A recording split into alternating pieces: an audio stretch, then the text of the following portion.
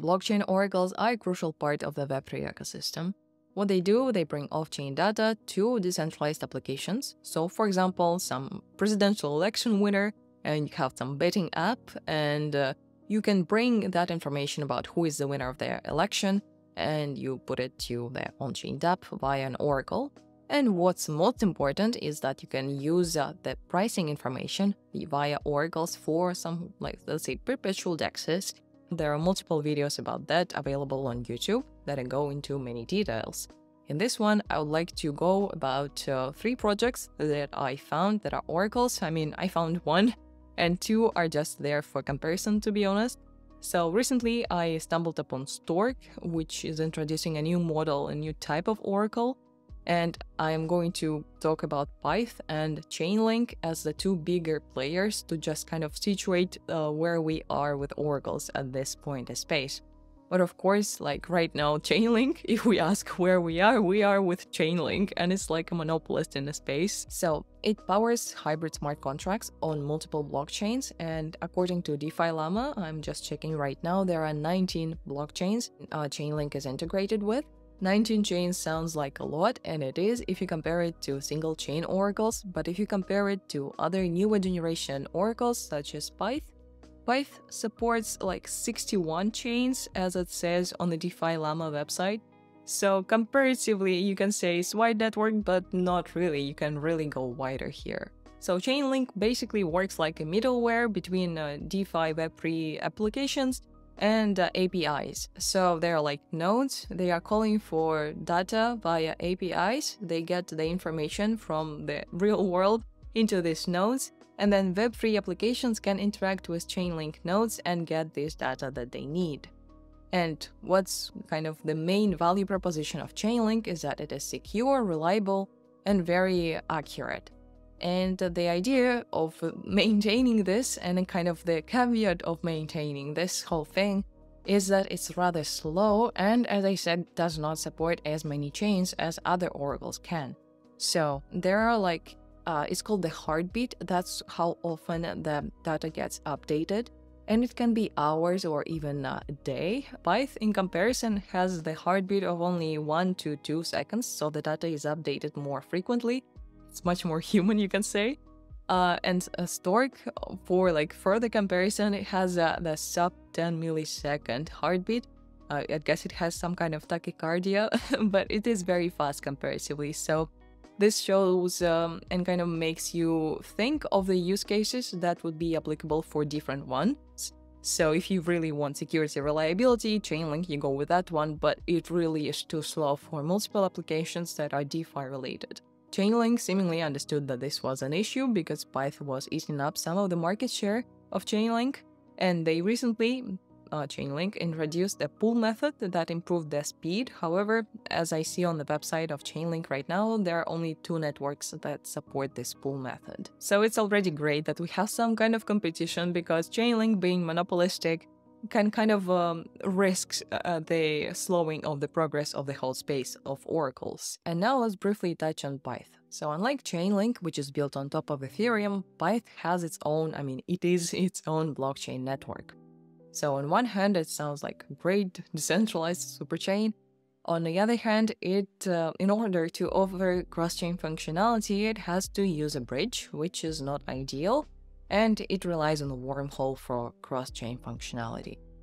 Uh, this approach that Pyth takes is also the whole idea of behind Pyth is rather different. It focuses on high-performance price feeds, so it's uh, very specific to DeFi, whereas Chainlink is more general purpose. And yes, yeah, so that's kind of a long story short, honestly. And uh, the price updates I already mentioned that Chainlink is in the order of hours, I mean, for some, it's in the order of minutes, and it can be even a day for others. Um, Pyth is in the order of 1 to 2 seconds. So these two, Pyth and Chainlink, are the main big players in the field. We, if we open DeFi Llama, we have also WinkLink, which is like 15% of the total value secured by these Oracle protocols. Um, however, WinkLink is Tron chain only, and Pyth and Chainlink uh, support multiple chains. And if we have a look here, so Chainlink secures 400 protocols, supports 19 chains. 20, $21 uh, in total value secured. Then WinkLink is almost 7 billion, but again, it's only um, one chain. And then Pyth is uh, 61 chains, 205 protocols, and almost 5 billion in total value secured. At least that's as of today, which is Saturday, August the 10th. We'll see maybe if this changes later, but I doubt it. I mean, it did pretty far that Chainlink is. And now that I put out the landscape of the oracles at this particular moment in time, I would like to tell you about Stork that is introducing something pretty new, and I'm rather interested to see where it's going to go. Stork introduces the open data market as a new paradigm for on chain data provisioning, and that's how they describe themselves. Um, long story short, if you paint it with broad brushstrokes in the end, it's still a price oracle. However, it is much more customizable, and the idea is that it is much more accessible than any other oracle out there. So there are three main components. So first one is data publishers. Those are the producers. Anyone with high quality data can become a verifiable data provider. They have an SDK so that you can, in a standardized way, provide your data and whoever you are. So we have data consumers. Those are the main kind of people who are going to buy and pay for the provided data. So they access data directly from publishers or via composite Oracle services, which are the next kind of type of consumers, even I would say. So this works as if um, there is no middleman in between the data providers and data consumers.